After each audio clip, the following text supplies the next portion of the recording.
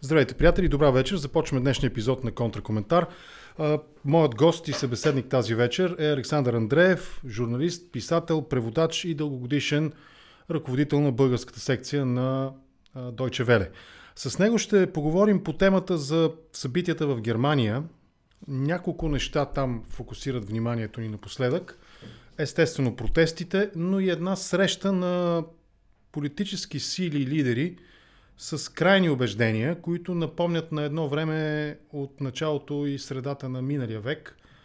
А, идеята им е за спиране и обръщане на процеса на емиграция. В а, своята така, идея за тази среща, по някакъв начин тя ми напомня на една друга среща, проведена през 30-те години, в края на 30-те години в а, Ванзе, но няма да правиме толкова дълбок и толкова далечен исторически паралел и ретроспекция. По-скоро по-скоро стъпвайки върху научно изследване, изцяло научно изследване за именно миграционните процеси, проведено от професор Бернт Рефел Хюшен, Рефел Хюшен и неговия екип. Това изследване става основа за тази среща и за проистеклите от това процеси. Естествено, разговор ни с господин Андреев ще бъде и в контекста на предстоящите европарламентарни избори в Европа а Германия като една от водещите, един от двигат, така, една от съставните части на двигателя на Европейския съюз, заедно с Франция, разбира се, е изключително важна тема. От Германия можем да вземем много примери. Например, не случайно идеята за водещия кандидат в листата, шпицен кандидата, е немска думичка, немска конструкция, немска лексема. У нас обаче нещата не изглеждат толкова сякаш наподобяващи нормален изборен процес.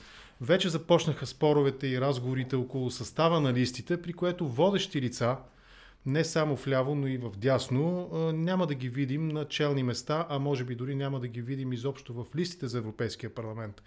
Тези избори, заедно с цялостния глобален контекст на много мащабно гласуване в световен мащаб, близо половината от човечеството ще мине през избори тази година в Штатите президентски, в Русия президентски, и къде ли не още по света, включително и в Европейския съюз, повдигат основателно въпроса за това на къде отива политически светът. Има изследване в рамките на Европейския съюз, според което този познатни политически баланс далеч няма да остане същия, а най-вероятно няма да, няма да остане и в същия баланс.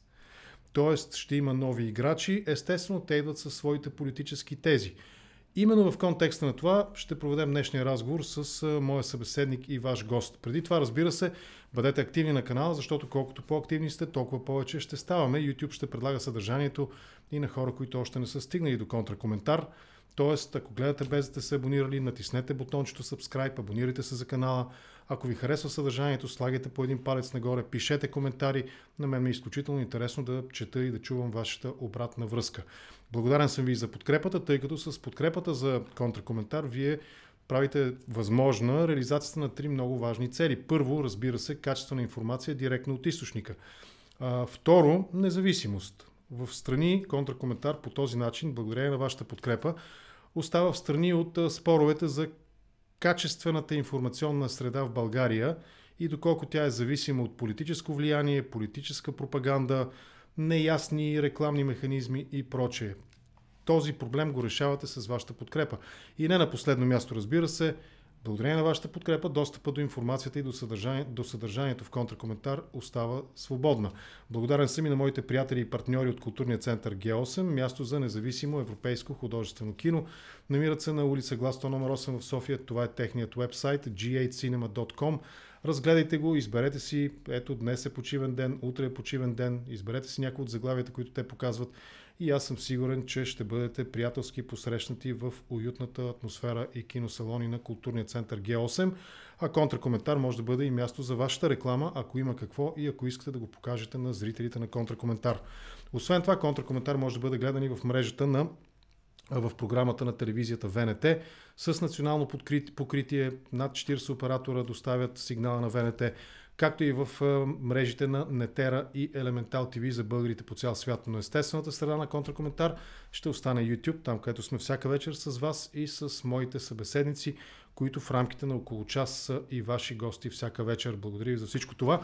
Започваме разговора с днешния ми събеседник Александър Андреев, както казах, журналист с дългогодишна практика, писател, преводач и ръководител на българската секция на Deutsche Welle.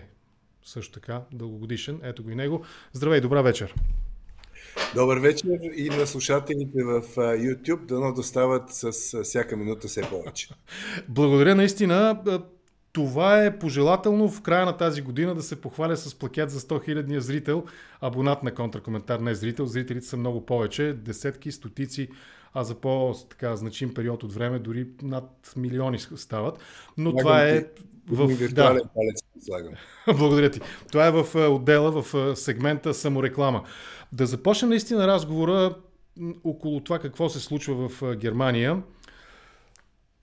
Може би ще бъде така прекалено поетичен за политическия формат на разговора, разговорите в контракоментар, тази метафора или това сравнение, но прилича наистина на разстроен, на разбъркан пчелен кошер. А, буквално една седмица след а, публикация на изданието Коректив, а, тя така доби широк обществен резонанс за тайна среща на ултрадесни, тук отново казвам го условно, цитирайки на естествено информационни източници, за мен подобни идеологии по-скоро отиват към крайно лявото, но това е тема за друг политологичен и философски анализ и разговор, какъвто можем да водим с теб, но да останем в рамките на актуалния съвременен прочит. Политическия живот в страната рязко се активизира. Какво всъщност стана на тази среща? Аз споменах това научно изследване на професор Рефел Хюшен – което е в основата на идеята за, мисля, че беше термина ремиграция. Термина е такъв, след малко ще стане дума и за това, но искам да разширя правилното наблюдение, че Германия е като разбунен кошер, както известно и правителството тук не е достатъчно стабилно, атаки от всякъде към тройната коалиция. Вълнение има насякъде. Днеска хората пак излизат на протести срещу крайно дясното, срещу альтернатива за Германия всъщност. В Саарбрюкен, например. Пак днеска и тук случайно засягаме и това, което ти спомена, кои са крайно леви, кои са крайно десни. Не е съвсем днес... ясно, да. Сара Вагенкнехт основава своята ляво-популистска партия. Тъй, че наистина всичко ври и кипи, обаче трябва да се каже веднага, той кипеш не замъглява картината. Кристално ясно е за какво става дума в момента, особено протестите срещу повода, за които стана тая среща, спомената от тебе. Тези протести, това е всъщност здравия демократичен рефлекс на мнозинството германци, които поколения наред с удивително постоянство освояват уроците от времето на национал-социализма, понеже именно тогава, по времето на национал-социализма, германците, много от тях, повечето, се поддадоха на популистските, антидемократични, расистски, в крайна сметка човеконенавистни внушения на Хитлер и неговата партия. И по този начин се причиниха една огромна световна катастрофа, отнела живота на десетки милиони хора. Так, стигаме отново до повода, конспиративната среща, повода за протестите от миналия уикенд до сега. Това е конспиративната среща на неонацисти с участието на представители на популистската партия Альтернатива за Германия, на която е бил обсъждан именно плана за така наречената ремиграция, за прогонването от страната на милиони мигранти и дори на германци с мигрантски происход. Тук в скоби, примерно, мога да, да кажа, че мюсюлманите в Германия са около 5 милиона и половина, от тях 2 милиона и 8-900 хиляди са турци а, или хора с турски корени, но имаме и горе-долу същата цифра, ако не и повече, а, руснаци, хора с руски корени.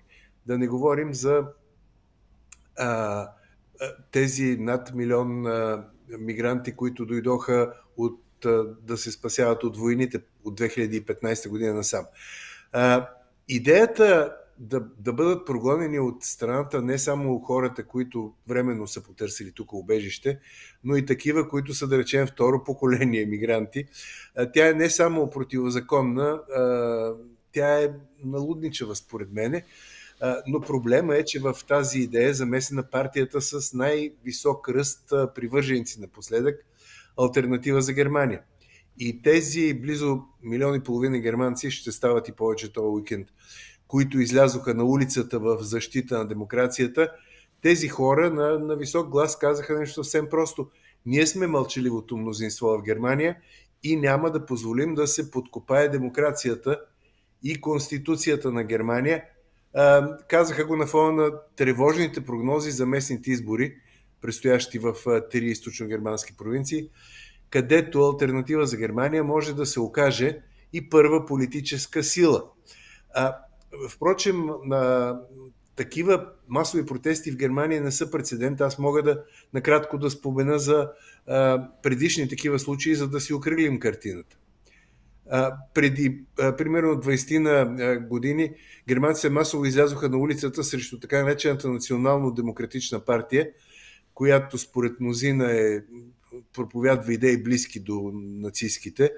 Масови протести срещу МПД имаше в различни германски градове. Аз помня, че в Берлин излязоха десетки хиляди на улицата. Иначе в Федерална република Германия, в Западна Германия, масови политически протести имаше през 60-те години срещу войната в Виетнам. Студентските и младежки протести от 68 и 9 насочени срещу е онова спарено лицемерие на тогавашното западно-германско общество, което не се беше оттърсило окончателно от времето на национал-социализма. Или пък онези, това може би е най-голямата демонстрация в Германия, състояла се тук в Бон, откъдето си говорим в момента. 300 хиляди души се събраха на 10 октомври 1981 в тогавашната столица Бон да протестират срещу така нареченото двойно решение на, на НАТО. разбира се, да не забравяме накрая протестите срещу комунистическия режим в ГДР в края на, малко преди разпадането на ГДР, също многолюдни и също уникални в историята на страната. Ако останем още малко на тази тема за ремиграцията, така доста ефемистично определение за, на идеята, така термин, зад който се крие идеята за на практика прогонване на не само новодошли, но и второ, както казваш, поколение а, мигранти. В тази категория попадат и немалко българи. Германия, мисля, че е една от страните, в които има най-голяма българска диаспора, именно хора, които са се преселили. Не е, нали, емигрирали през годините. Да. да, не знам колко, но мисля, че става дума за над 250 хиляди души, ако не греша. 400. 400, 400 хиляди души. А, в България ние имаме политически аналог на АФД, даже лидера на Възраждане, Копей, Костадин Костадинов, той присъства на събития на АФД и така нататък. Родее се на думи поне с тази партия, но печели гласове и там, в Германия. Няма да дам, не мога да дам в момента по спомен точния процент колко, но вземат и там процент техните събратя български нали, на АФД. На тях какво може да им се обясни? Защото в германската политика, в обществения живот на Германия – вече има достатъчно примери за хора, на много, не само в политиката, и в економиката, и в обществения, културния, социалния живот. Страшно много хора, не само с турски имена, не само с тъмен цвят или бял цвят на кожата, защото и това е част от идеята за ремиграция, цвета на кожата, името и така нататък. Тоест, изцяло в онази риторика от 30-те и 40-те години на миналия век. На тях какво би им казал именно в избора си, политическия избор и най-вече не толкова в избора, това е суверенно право на всеки, колкото именно в разбирането, че такава политическа риторика е в някаква степен допустима според тях. Тъй като и тях ще ги засегне, ако приемем, че този план бъде реализиран в цялост и в пълнота. Теб и всички останали 400 000 българи потенциално ги засяга този план. Ами, а, често пъти хората са в а, едно шизофренно раздвоение между а, преките си интереси, за които те не се замислят особено, и а, вношенията на лудничевите вношения на, на политици, като а, господин Костадинов, например. Тоест, тези а, стотици хиляди хора в а, Германия от български происход или с български паспорти, това са като започнем от работниците по строежите, минем през куриерските фирми, а, стигнем до санитарите в болниците, лекарите, инженерите, има много хора на изкуството от България в Германия.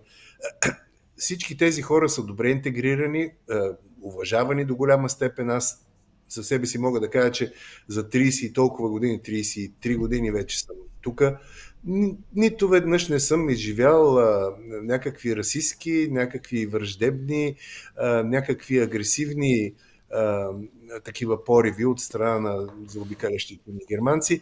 Та връщам се към въпроса. А, част от тези хора, българи в Германия, които, онази част, която е гласувала за господин Костадинов, просто не си дава сметка, че гласува срещу собствените си интереси, срещу работното си място, срещу спокойната си, спокойния си квартал, срещу дружелюбните си съседи, подкрепяйки партии като Възраждане или Альтернатива за Германия. Между другото, същия сюжет е с Альтернатива за Германия. Двете партии доста си приличат. Ти спомена изявата на господин Косадинов пред форума на Альтернатива за Германия, където роднинството им беше, така да се каже, официално оповестено. А, ако поровим малко по-надълбоко и ако се абстрахираме от тази терминологична бъркотия, за която стана дума, кое е ляво, да. кое е дясно, ще видим, че а, тя ги обединяват не само популистските възгледи и липсата на конкретни политически идеи. А, за Възраждане се казва на Запад, че е лява и крайно лява и проруска партия, но между другото за альтернатива за Германия също гласуват хора с симпатии към Русия. В альтернатива за Германия също има лидери, които не смятат Русия. Ето Бернт Хъке, един от главните им лидери, той не смята Русия за някаква опасност. Тук вече влизат в сметката и няколко други свързани с Русия теми, като северните потоци и економическите загуби на една източно-германска провинция от тях. А, влизат в сметката и фактите, такива факти, че част от а, руските или хората с руски корени избиратели в Германия, пак казах, те са над 3 милиона, а, също симпатизират на альтернатива за Германия, за да затворим кръга на сравненията между Възраждане и Альтернатива за Германия, лично на мене а, а, альтернатива за Германия ми се виждат малко по-цивилизовани от Възраждане. Те не са толкова кресливи и поне привидно се опитват да се държат е, като... професорската, професорската партия. Така тръгнаха, да. да. Между другото, а, не знам а, на къде искаш да продължи нашия разговор, но любопитно е... Да, да. Ще стигнем любопитно... до... Довърши, довърши. Интересно ми е. Любопитно е да се проследи а, а, генеалогията на Альтернатива за Германия. Откъде тръгна тази партия и как се, как се разви а, в хода на годините. Според мен тя не може да, а, да бъде разбрана, ако а, не знаем а, как е, а, какъв е нейния генезис. А, нека да си спомним, че Альтернатива за Германия възникна като платформа за съпротива срещу въвеждането на еврото, на еврото да. в края на миналия, миналия век, миналото хилядолетие. А, тоест, тя тръгна против еврото. А, после альтернатива за Германия беше против спасяването на гръцките банки. След това беше против бежанците и мигрантите. Тя и до днес е против бежанците и мигрантите. След това беше против зелената сделка, против климатичната политика, против Европейския съюз. Тоест, това е партия, която винаги напредва с негативни платформи. Те, те позитивни някакви цели особени нямат. Аз съм им гледал изявите и програмата им съм чел и а, някакви 10 точки изнесоха те пред публиката, по които трябва да работят, но в обобщение за какво става дума? Не искаме мигранти, трябва да се вземат много по-строги мерки срещу мигрантите. Не искаме зелена сделка и опазване на климата, защото хората искат да си карат бензиновите коли, да не си инсталират соларни панели, искат ефтин дизел. Това са все отрицателни решения, които влизат в конфликт с политиката на Европейския съюз и сегашната политика на Германия. Нещо повече, тия дни Алис Вайдъл пред Financial Times недвусмислено каза, че британското решение, Брексита е опция за Германия, че ако Европейския съюз не се преоснове, според нея за Германия е вариант така наречения Дексит от Deutschland и Екзит, излизане на Германия от Европейския съюз. За да затвориме тази тема наистина с основанието за съществуване на АФД, а, това изследване, за което стана дума и което мисля, че е в основата на срещата им и на идеята за ремиграцията на а, професор Рафел Хюшен, то в интерес на истината посочва, струва ми се, обективни обстоятелства и той самия е против това да бъде политизиран един резултат на научна дейност. Ови обаче това се прави и няма как да не се прави, тъй като засяга социални проблеми.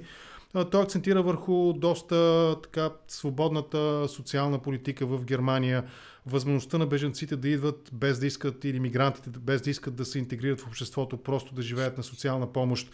Освен това акцентира и върху сякаш промяна на посоката на миграционните процеси от изток на юг-юго-исток, т.е. Африка и континента африканския. Това са все резонни, включително и политически въпроси.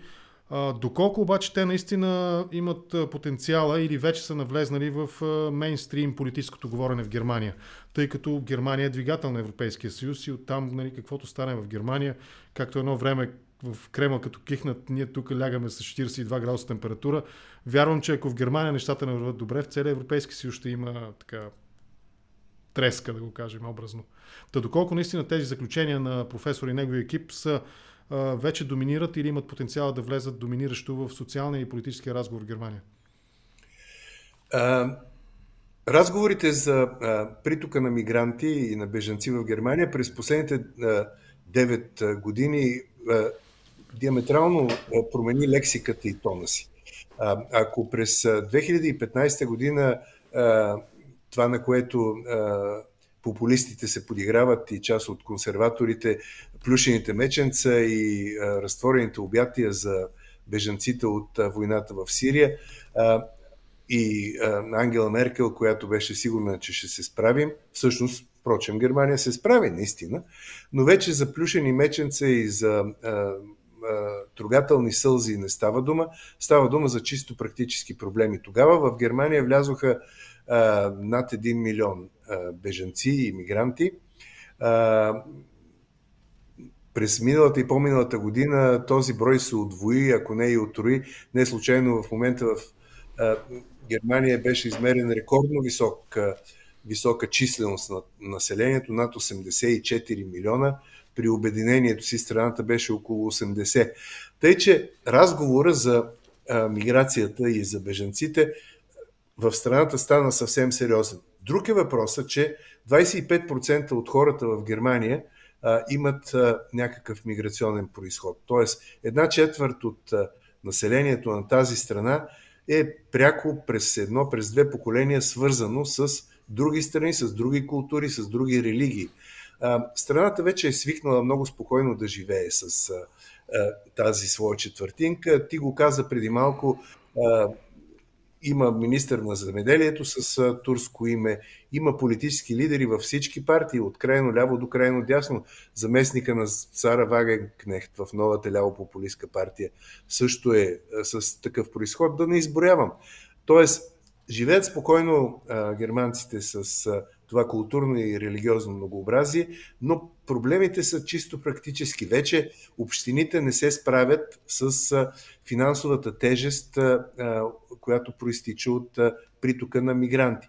До преди 2-3 години Германия беше в благоденствие, имаше огромен данъчен излишък, държавата имаше пари за раздаване, проблема не беше толкова сериозен. Сега Германия, според някой е болният човек на Европа.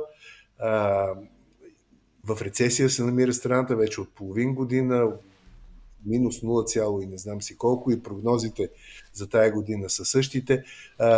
Излишните пари свършиха. Общините, наистина някои от общините са пропищели, защото за, за тези мигранти трябва да се осигури покрив над главата им, медицинско обслужване, да учат немски децата им, да ходят на училище, да им се намери евентуално някаква работа. Всичко това струва пари. Опитът показва, че от хората влезли през 2015 година в Германия, вече над 70% с тая масивна държавна помощ са се стъпили на краката. Те работят, те имат жилища, децата им ходят на училище, те са интегрирани. Но продължава да стои проблема с новопристигналите, за които държавата трябва да се погрижи и затова дискусията вече стана съвсем практична. Да не говорим, че знаете, в Германия управлява коалиция от социал-демократи, зелени и либерали – а опозицията са християн-демократите на Ангела Меркел. Тези християн-демократи по темата за бежанците, иммигрантите, разбира се, влизат, навлизат на терена на альтернатива за Германия, опитвайки се разбираемо да иземат техни, техни избиратели. Тъй, че в цялата тая много осложнена картина германците с демократично мислене, някои ги наричат леви, но те не са само леви, това бяха хора от всякакви поколения, с всякаква политическа разцветка, а, с демократично мислене обаче, те излязоха на улицата и продължават някои от тях да са на улицата, тъкмо срещу плановете, противоконституционните и тихоманни планове на альтернатива за Германия, а, да започне някаква ремиграция, да започне прогонване и така нататък. Франция. От Франция също идват а, впечатляващи, открояващи се новини. А, Марин Люпен сякаш не е толкова петимна е разговорната думичка вече за сътрудничество и партньорство с а, АФД, альтернатива за Германия. А, освен това, струва ми се и нейната партия подлага сериозно под въпрос съществуването на идентичност и демокрация. Това е европейското семейство, към което сякаш и АФД принадлежат или се стремят. А, какъв е отзвука от тази новина и от това потенциално или реално вече развитие на нещата в Германия? И ако наистина нещо подобно се случи, това какво би означавало? Ами, най-напред да уточним нещо. Марин Люпен очевидно сериозно се кани да управлява и вече мисли в управленска оптика. Защото един управленец предпочита да избягва крайностите на него или на нея в случая им се налагат компромиси и ето защо Марин Люпен се държи политически по-умерено, не от вчера. В Германия, альтернатива за Германия още не мисли за управление. Нещо повече, нейни лидери тези дни дори намекнаха, че не са готови да управляват на национално равнище. Според някои първи коментари в Германия, Марин Люпен гледа именно към европейските избори през юни и се опитва да спечели по-центристски настроени избиратели в Франция и тъкмо поради това избягва крайностите. Сега, говорители на альтернатива за Германия най-напред реагираха с изявление, че това било дезинформация за Марин Люпен, че били недоразумения но явно е така. И Марин Люпен мисли, според мен, и за бъдещето, както стана дума, на фракцията идентичност и демокрация, която може да се окаже трета, трета сила в Европейския парламент с стотина евродепутати. В момента Альтернатива за Германия има деветима в тая фракция. А партията на Марин Люпен а, вероятно ще вкара доста повече, защото поне в момента това, което четох. Аз днеска, преди европейските избори, Марин Люпен води с 10, цели 10 пункта пред партията на Макрон. Тези масови протести или демонстрации в Германия вече от около седмица насам се провеждат именно срещу альтернатива за Германия и крайно десните. В рамките на този разговор се придържаме към наложените в медиите термини за ляво и дясно. След разкритията за тази тайна среща нали, на екстремистите, най-общо казано. Това са протести и подобно настроение са силен знак за обществената среда и нагласи в Федералната република. Ще имат ли обаче дългосрочен ефект и могат ли тези масови протести по настоящем в Германия да противодействат на иначе очевидната радикализация на обществото, а оттам отново аз гледам с перспектива и към Съюза като цяло, европейския? Това е, това е най-точният въпрос, много правилен и най-вълнуващия в момента. На мен лично ми е трудно в момента да кажа дали ще има дългосрочен ефект, дали радикализацията на част от германското общество може да бъде спряна. Мога да цитирам няколко експерти. Техните мнения, така да се каже, наместват нещата. Ето сега ще прочита политоложката Нина Винкоп от Института за изучаване на масовите движения и протести, например, смята, че е възникнал в Германия нещо като широк масов съюз в защита на демокрацията, който оповестява, че тази демокрация умее да се брани. Много хора, казва Винкоп, възприемат тези протести като будилник и тя подчертава това, което казах преди малко. На улицата излязоха хора от най-различни поколения. Политоложката очаква, впрочем, че тези протести ще обхванат и други обществени сфери, но за сега тя лично не се ангажира с прогноза колко дълго вълната ще се задържи в апогея си. Тук от политологическата катедра на университета в Бон, която е една от най-известните в Германия, професор Фолкер Кромберг каза, че подобни феномени едва ли могат да бъдат трайни, но че те са ясен призив към политиката, очевидно и към правителството, което мнозина смятат, смятат че се намира в някаква парализа. Друг политолог, Хайо Функе, пък се изненадва от масовостта на протестите и припомня именно тези протести в Германия, за които аз преди малко казах. В крайна сметка. Източна, Германия. Източна и в Западна. И в Западна. Аз мога да го обобща така. Альтернатива за Германия печели наистина избиратели, макар че в момента има лек минус в подкрепата за нея, но тя на, на национално равнище има над 20% подкрепа. В източно-германските провинции, трите, Саксония, Бранденбург и Тюрингия, където ще има избори, тя дига над 30%, но тя печели тези хора с неизпълними популистски обещания. За съжаление, много хора вярват на, на тези обещания и не виждат, че отчасти такива обещания са практически неизпълними, отчасти влизат в противоречие с европейската политика, отчасти подкопават конституционния ред в страната.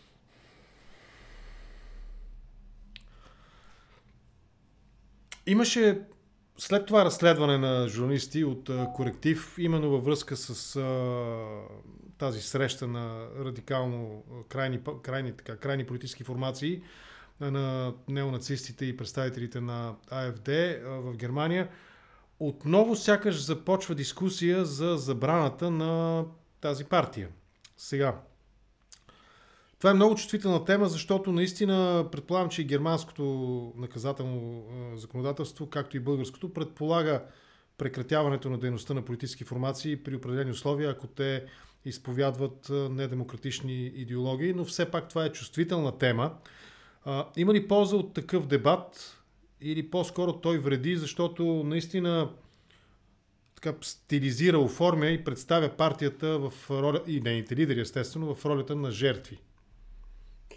А, така ще добавя само, а, а, че за забрана може да се говори, ако а, такава партия или организация а, смята насилствено да промени конституционния ред на страната или го подрива. А, нека да пак да направим един а, исторически паралел, за да видим на базата на натрупани опит в Германия какво може да стане за напред. Току-що беше спряно държавното финансиране на една друга крайно дясна партия, която в момента се нарича родината, Дихаймат.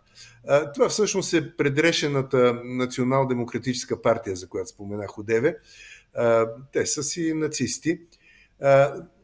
Конституционният съд сега отряза на, на нейната правоприемница държавното финансиране с аргумента, че тя именно се опитва да подкопае или да унищожи либерално-демократичния ред в страната. До сега, впрочем, се провалиха два опита да бъде забранена Национал-демократичната партия, предшественичката на родината.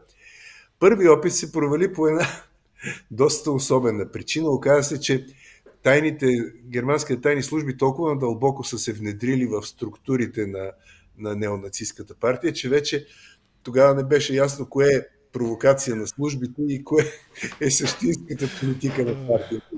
е комично. А, Дали службите си нямат партия, нали, накрая? Не, дали агентите им не се престарават до там, че, че а, а, вменяват на, на тази партия някакви а, много подривни а, идеи. А, сега, както стана дума, публично се обсъжда и забраната на альтернатива за Германия, но според мен няма основания за това и едва ли ще се стигне за това. Според герма... До това, според германските медии, по-перспективно е партията да бъде обявена за противоконституционна в отделни провинции, т.е. не и провинциални организации, на базата на изявленията на съответните провинциални лидери. В Саксония, например, където ще има избори, Службата за защита на Конституцията, това е германското контраразузнаване, е обявила тамошната партийна организация за несъмнено дясно екстремистка. Германското контраразузнаване, тая служба за защита на Конституцията, впрочем е децентрализирана. Това е много особен елемент от германската структура. И тъкмо поради това контрразузнаването в различните провинции, където наблюдава альтернатива за Германия, стига и до различни заключения. Лично аз се надявам, ако ме питате, че няма да преживея забрана на политическа партия в Германия, защото това е политическа бухалка, към която трябва да се посяга само в най-най-най-крайен случай. И много внимателно, да. Аз тук малко се загубих. Насилствена промяна на Конституцията. Българския наказателен кодекс предвижда такива мерки крайни за проповядване на фашистска и други недемократични идеологии. У нас нали, спорим. За сега може би още в границите, нали, маргинален е този спор, но аз смятам, че и комунизмът по някакъв начин трябва да бъде добавен предвид и на този закон от 2000 година, който го обявява за престъпен режим в България поне, но това е отделна наистина тема, която е по-сложна.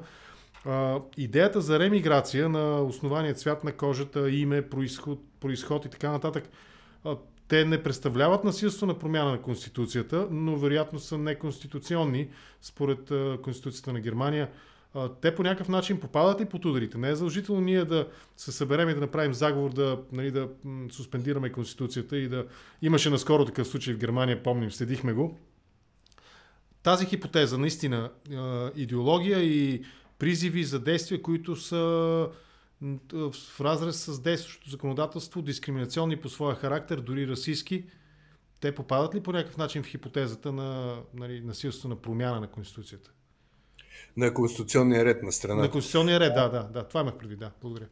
А, нека започна от първи член на Германската конституция, който гласи достоинството на човека е ненакърнимо. А, това е, според единодушното мнение на юристи, конституционалисти, журналисти, политици, това е основата, върху която е изградена сегашната Федерална република Германия. След като достоинството на човека е ненакърнимо, не може да се посяга на този човек от расистски, религиозни и други причини. Това е очевидно. Тъй, че очевидно призивите за някаква ремиграция, за прогонване на милиони хора от страната, когато за това няма юридически зададена рамка, когато причина за това е единствено цвета на кожата им или религията им, очевидно, че тези призиви нарушават Конституцията. Да пак казвам, альтернатива за Германия много внимателно се движи по ръба на бръснача, по ръба на закона. Някои нейни лидери от време на време се изтърват, така да се каже, и а, преминават с единия крак а, от другата страна. Такъв е Бернт Хъке, за, за когото стана дума. А, но а, иначе те много внимават да останат а, на, на страната на Конституцията. Mm-hmm. И а, това, включително и по тази причина, да се говори за забрана на альтернатива за Германия, според мен е излишно и неуместно. Може да се говори за някаква изненада, граничеща с шок за самата альтернатива за Германия. Според проучване на Билд, по поръчка на Билд нали, направено, след около седмица протести, изведнъж АФД изглежда започват да губят гласове, при това най-голяма загуба те отчитат, ако трябва да дам точните съотношения, социал-демократите губят около половин процент, общо 13,5%, ХДС и ХСС още около половин процент, зелените губят около половин процент, при либералите процента остава непроменен около 5%. И АФД стига до 21,5%, т.е. губи около процент и половина. Ляво, Линке, партията губи около 1%, свободните избиратели 0,5% и другите губят, печелят по-скоро около 3,5% другите формации на терена. Най-голяма така, спад наистина инкасират АФД с процент и половина до 21,5% достигат. Това, да, може да бъде определено като шок в крайна сметка за самото АФД. Те минаха от своя страна в контратака и разпространяват информация, твърдат, че тези кадри от демонстрацията са фалшифицирани, фалшификати и може тази стратегия на отричане, срещу нас тече, нали, ние сме жертвите, тече кампания срещу нас с фейк новини и проче, да бъде успешна като противодействие на този спад. Не срив, но спад. Процент и половина не е малко. Разбира се, от страна на Альтернатива за Германия имаше всякакви приказки, че на улицата едва ли не били изкарани някакви актьори, статисти и така. Тая първа реакция беше нелепа мене, ако питате, до там, че се появиха и сатири в ключа. Германия, страната на актьорите, страна с 2 милиона професионални актриси и актьори. Аз мога от конкретния си тук географски опит да кажа, в Бон на улицата излязоха 30 хиляди души, това е 10% от населението на страната. Представете си. Това е все едно в София. На страната или на града? Не, на града, пардон, на града.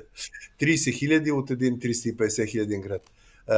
Това е все едно в София да излязат 150 хиляди души на улицата, което май се е случвало само през 1990 година.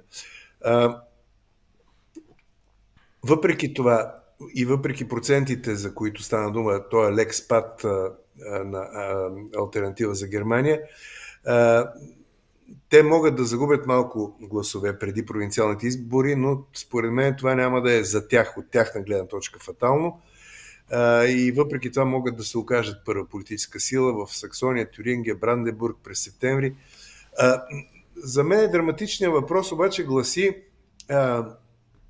ще стигнат ли до управление на провинциално равнище. Това е важното в момента и а, дали от този въпрос проистича и другия, дали ще бъде нарушено стабилното демократично табу в Германия, според което никоя от останалите демократични партии не прави коалиция с альтернатива за Германия.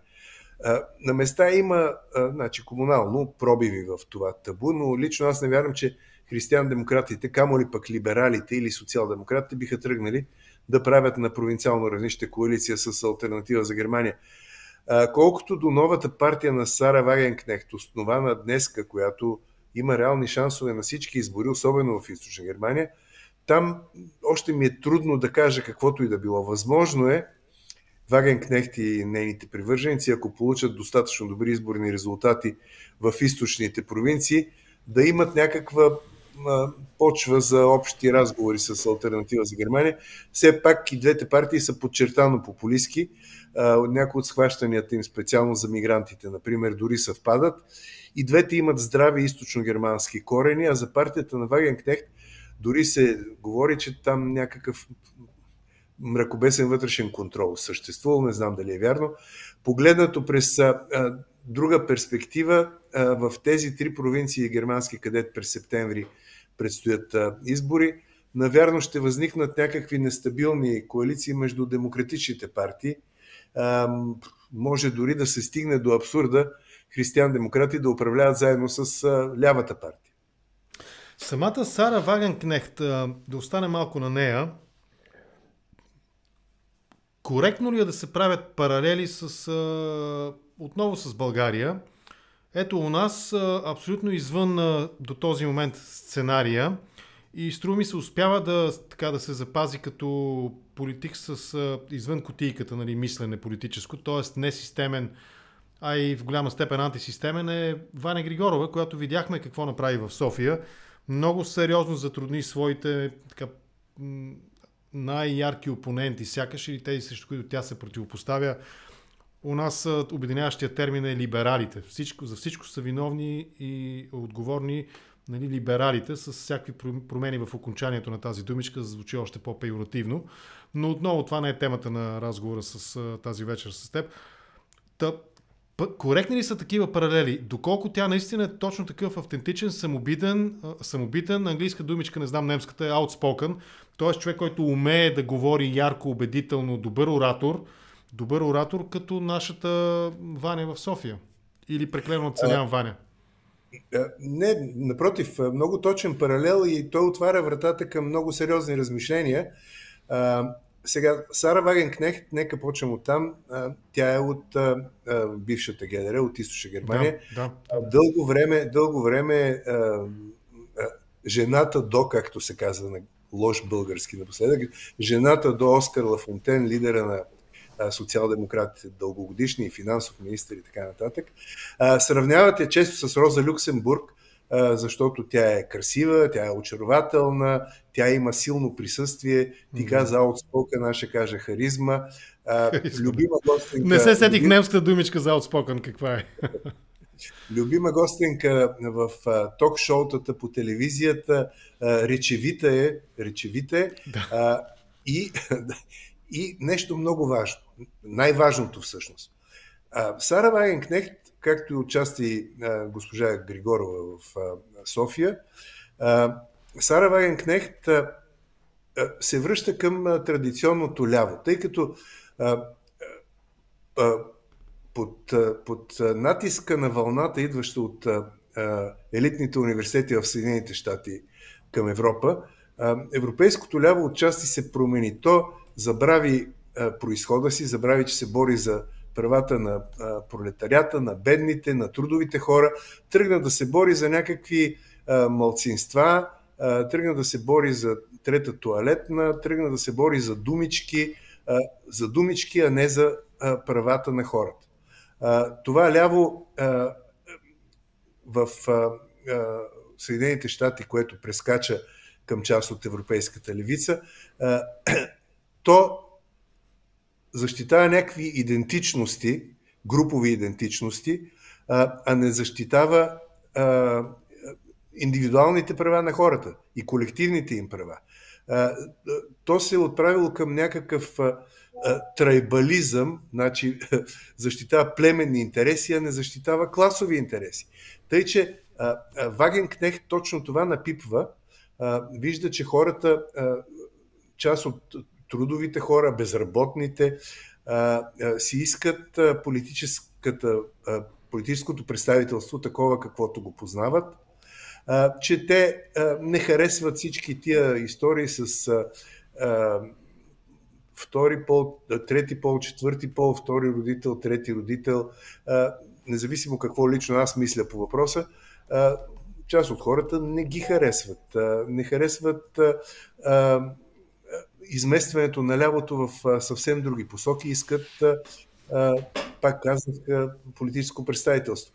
На тая струна играе и госпожа Григорова в България, макар че тя го прави много по-непохватно, тя е и по-млада, и по-неопитна, и понякога с такива вербални изцепки, които един политик по никакъв начин не може да си позволи. И естествено, през този паралел стигаме, може би, към, в края на разговора, към темата за супер изборната 2024 година. С риск да не сбъркам, пак ще повторя само тези, за които съм сигурен, че ще има избори страните. Руската федерация, Штатите, Европейския съюз и близо 50% от населението на Земята ще гласува през тази година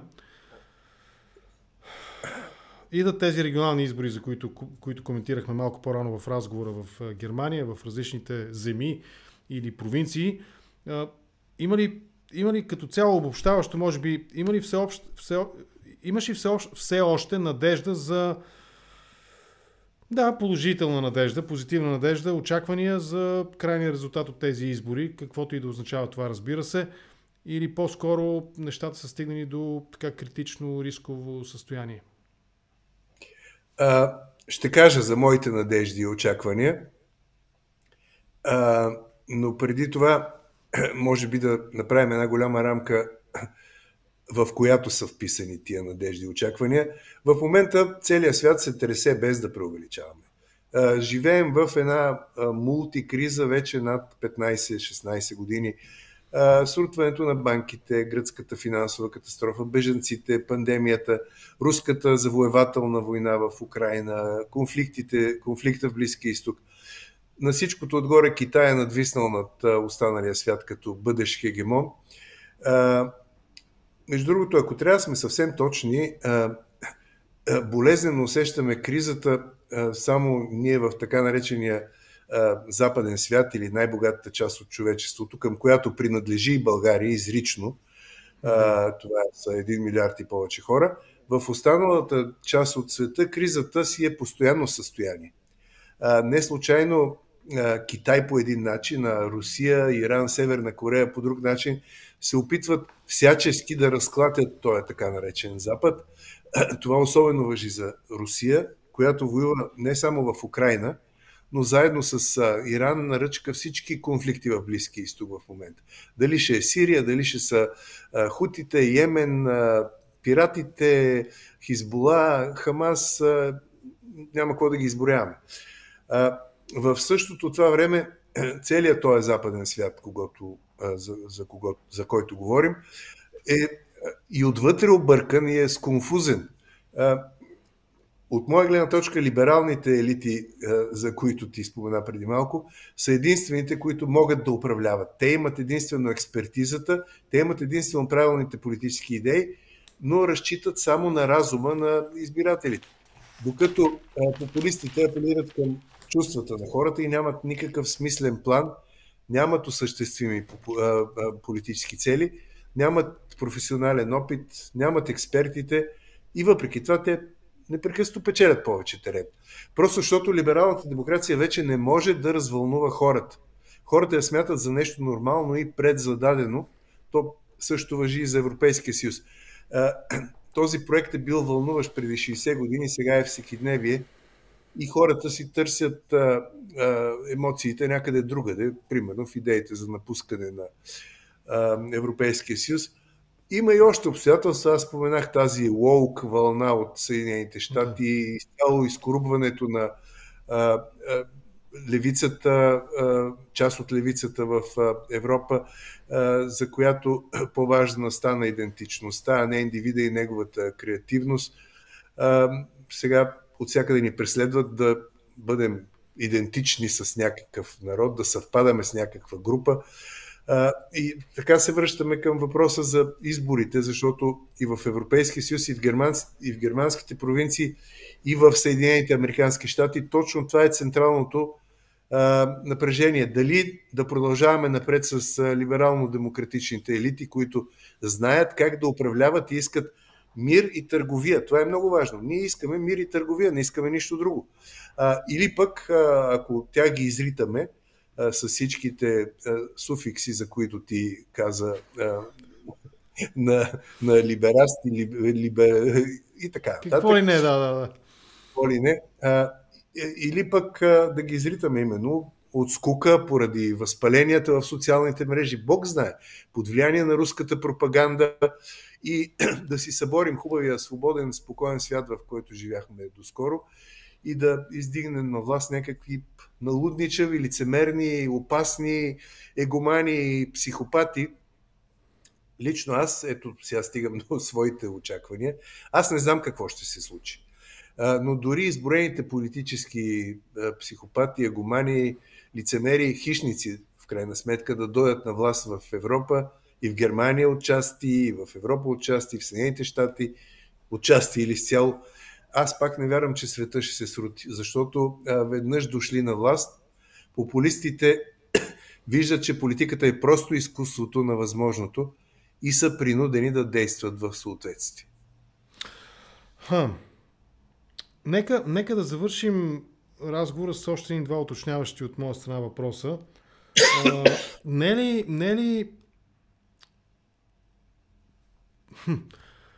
Сега без да звучи нападателно, но претенцията за либералните политически елити и тук ясно си давам сметка, че отговорността е изцяло моя, тъй като разговора, що е то либерална демокрация, е много дълъг, продължителен и сложен и не е един час формат, видеоформата, часове наред разговори са необходими, за да сложим рамката на, на термина «Що е то либерална демокрация» с всичките сложни механизми и правила на този вид обществен строй или режим политически, но претенцията либералните политически елити знаят как да управляват правилно.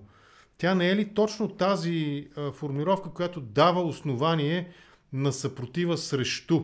Ето у нас, ако направим препратка към нашия главен герой в момента, Костадинов, той това казва. Те не знаят, те не могат, те са марионетки, те са предатели, те са а, кръци и престъпници. Ние знаем как и ние единствено говорим от името на българския народ. Ние сме българския народ. Тази, сам разбираш, че това е изключително удобна топка за отиграване. Когато аз кажа аз знам, на някой, който също знае не по-малко от мен или нали, не много повече от мен, той просто ще намери начин да ми върне подобаващо а, контратаката. Нали. Естествено, точно така е, разбира се. Имам два а, аргумента по въпроса. Един е а, а, малко е детински, но въпреки това върши работа. А, знаете, и в България, пък и в международен мащаб, на учителите в училище им става все по-трудно защото децата имат мобилни телефони, имат свобода. Те са израсли именно в условията на един либерализъм, в семейство, където не ги бият, където техните глезоти се зачитат и така нататък. И тия деца в училище започват да си позволяват неща, които за моето поколение и за предишни поколения бяха немислими, да се карат с учителите, да ги замерят, дори на да. бой, нали? Аз си спомням шамарите, които ядох, като се върна късно вечер точно, вкъщи. Точно така. Обаче все пак в едно училище, човека, в един клас, човека с опита, човека, който знае за какво е там и каква е целта му, е учителя. А децата трябва да се научат.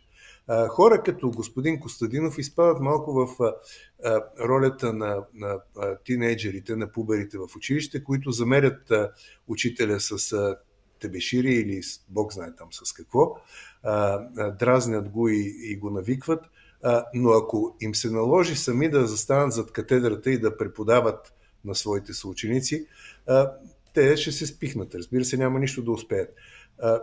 Виждали сме го много-много пъти по света, как се провалят популистите в момента, в който бъдат приобщени към властта. Втория аргумент, разбира се, отново исторически. Виждали сме и друго. Виждали сме и популисти, които идват на власт и се опитват да реализират целите си. Това е особено трагично. Това се е случило в Италия по време на фашистите, това се е случило в Германия по време на национал-социализма, това се е случило включително и на места като Северна Корея. Впрочем, ако се върнем още по-назад, болшевиките, точно това се случва на болшеви, с болшевиките и на Русия, на Съветския съюз под болшевиките.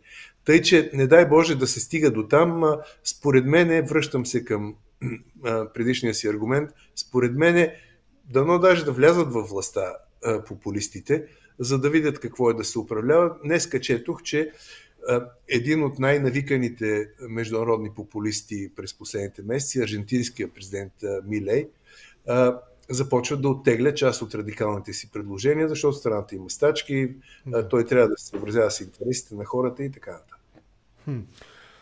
Всъщност всичко опира според мен до обяснение и с това да приключим наистина, отчитайки факта, че предполага така задълбочен анализ, коментар и информираност, търсенето на отговор на този въпрос, но все пак ако, ако, ако стъпим върху нуждата от обяснение, в обяснителната част или група влизат и медиите, всички тези, които сме от едната страна на информационния поток и го създаваме. Ако трябва да цитирам за финал на разговора, коментари от Шпигел във връзка с проучване на Федералното външно министерство, според на социалната мрежа X или Twitter, проведено от 20 декември до 20 януари, 20 декември миналата, 20 януари тази година. В Германия става дума за 50 000 фалшиви потребителски акаунта, профила, които разпространяват информация на немски язик, т.е. за немскоязичния свят. И става дума за милиони публикации, които са създадени по този начин. Текстовете, които са проследени и анализирани отново според Шпигел, са свързани до това, че правителството пренебрегва интересите на своето правителство. Те се поднасят през вебсайт. Да, на, на, благодаря на своето население. Нещо подобно чуваме и у нас непрекъснато. Тази информация се поднася и през веб-сайтове, които имитират по външния си вид новинарските сайтове, нали, популярните известни новинарски сайтове. И въпросът наистина е по-скоро към журналиста отправен, без да навлизаме в детали на самото проучване. Доколко имаме сили ние в България, а и в Германия да се противодейства на такава мащабна корените са руски на тази кампания, на така мащабна дезинформационна кампания. И това ще бъде един добър финал на нашия разговор, защото в крайна сметка наистина ние говорим за разбиране, а разбирането на драгия ни зрител, слушател или читател идва от начина по който му се поднася информацията. Ето, 50 000 фалшиви, милиони съобщения, милиони текстове, подвеждащи така на външен вид сайтове и изцяло пропагандна и фейк информация и съдържание се генерира и достига до 80 милиона германци. Ами, като казваш финал, този финал може би ще стане а, малко тъжен, защото според мен нямаме, нямаме сили да се противопоставим на вълната от дезинформация и от а, фалшиви новини. А, тази вълна не е само руската пропаганда, разбира се, руската пропаганда е силна. Хибридната война, която води Русия, то е въпрос на оцеляване за страната. Но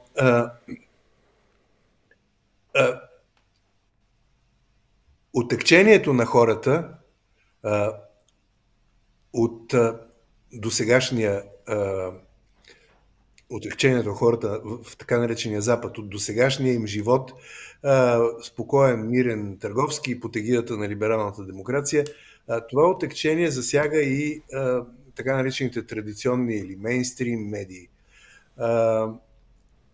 В Германия, тук мога половин ден да ви говоря за огромната роля и значение на обществено-правните медии, за това как те се управляват, колко добре работят колко балансирано поднасят фактите, коментарите, информацията и така нататък. Но хората се подръпнаха от тях. Пак казвам, от глупаво отекчение, от скука и поради това, че новото време налага и нови уреди, налага и нови форми на комуникация, поради това, че хората все повече пребивават в социалните мрежи и то в своите собствени балони.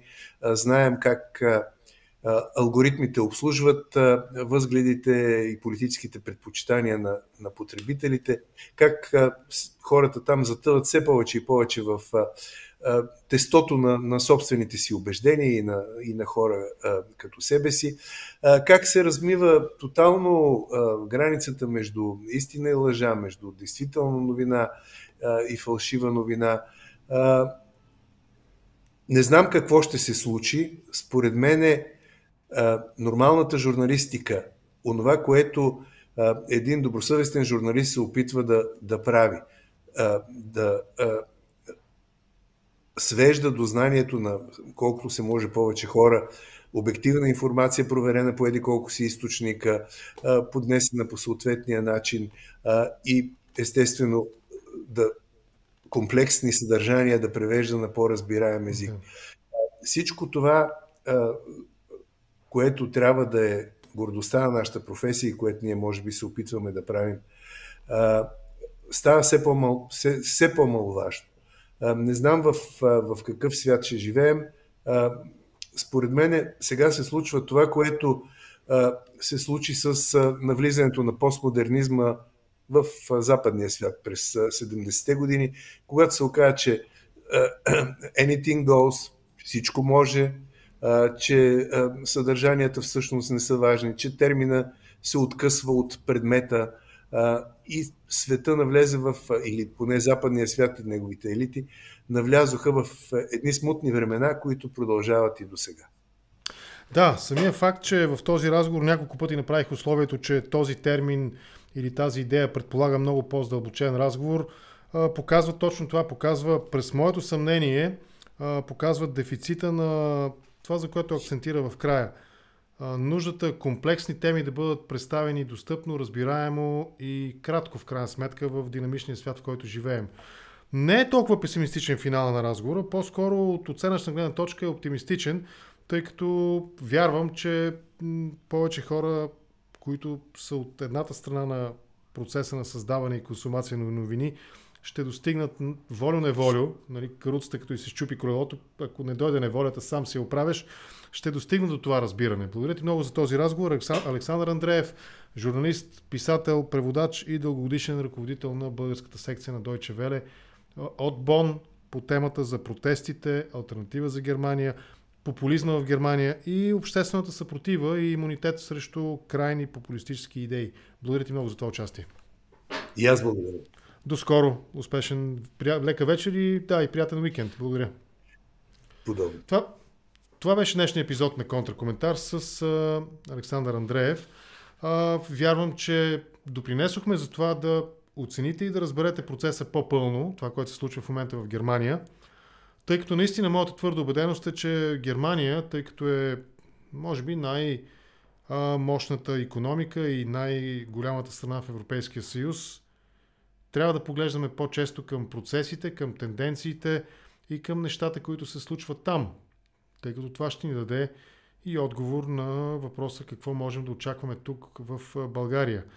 В личен план вече, ако наистина отчетем факта, че през юни, в средата на тази година ще имаме европарламентарни избори, лично аз се надявам и вярвам, че подобен поглед отвън към България и поглед към това, което се случва сред нашите партньори в общността на цивилизованите народи в Европейския съюз, по-скоро трябва да ни даде отговор на това как трябва да премине тази кампания за предстоящия Европейски парламент. И ние, доколкото е възможно, индивидуално или като някакъв общ така, група от хора, общност, среда, политическа и общност с политически активна общност, да го кажем, да търсим точно тези политически идеи, точно този политически разказ, който трябва да достигне до българските избиратели в вече сме в навечерието, изобщо нямам иллюзия по отношение на това, на европарламентарните избори. Със сигурност, аз съм сигурен, че в разговора Александър Андреев употреби е, трибалистични през английското tribe, племе. Знаем за това изследване напоследък, което стана популярно и беше дискутирано в част от българските медии за различните племена в Европа, в Европейския съюз. Ще потърся и вече съм в този процес на установяване на контакти и възможността да обсъдим с някой от неговите автори тази тема, тъй като наистина политическите племена в Европейския съюз сякаш ще се разместят на тези европарламентарни избори, а най-добрият начин да не бъдем изненадани като се подготвим за това или на полумузикански язик по отношение на политиката, импровизацията на преди предстоящите европейски избори в Европейския съюз би била успешна и добра, само ако е предварително подготвена. За да не се налага да се реагира в последния момент и после да няма изненадани. Отклоних се в опита си да завърша този разговор, но така или иначе, това беше днешния епизод на Контракоментар. Благодаря ви за това, че бяхме заедно тази вечер. А, утре, ако всичко е наред, ще разговаряме за предстоящите избори в Штатите, президентски избори и това, което се случва на този етап. Дори в някои коментари по-смели, вече чувам възможността Тръмп да влезе в затвора. Представете си. А, но така не, че той на този етап е неко, без конкуренция а, сякаш. А, тази дама, която му опонира, макар и с ясна предина пред Байден и тя, но с много по-малко, отколкото а, би се искало на нея, може би, за да спечели, за да има шансове да спечели. Тя пък за сега няма достатъчно сили сякаш да се пребори с а, Тръмп и тя да бъде номинирана а, за президент, за кандидат за президент в Съединените Американски щати. За предстоящия супер вторник съвсем скоро през март месец и за предстоящите президентски избори с възможните хипотези и перспективи. Ще разговаряме в неделя с Петър Якимов утре вечер. За днес приключваме. Благодаря ви за това, че бяхме заедно. И отново, както в началото, бъдете активни на канала. Ако не сте се абонирали, натиснете бутончето subscribe, защото по този начин YouTube ще предлага съдържанието и на хора, които още не са стигнали и ние ще станем повече. Освен това съм ви благодарен и за подкрепата. Супер чат на живо, супер тенкс ако гледате на запис и всеки един от начините, които съм изброил в описанието на това видео, както разбира се и благодаря на моите партньори и ръководатели от културния център G8, g8cinema.com, техния вебсайт. Разгледайте го, изберете си някой филм от програмата на G8 и сте добре дошли в киносалоните на G8, а те се намират на улица Гластон номер 8 в София. Това е. Контракоментар може да бъде гледан в програмата на телевизията ВНТ с национално покритие, както и в мрежите на Нетера и Елементал ТВ за българите по цял свят. Но естествената среда, там където ще останем с вас всяка вечер е YouTube, заедно с моите гости и събеседници, които в рамките на около час време са и ваши гости всяка вечер. Благодаря ви. До утре. Лека вечер и късмет.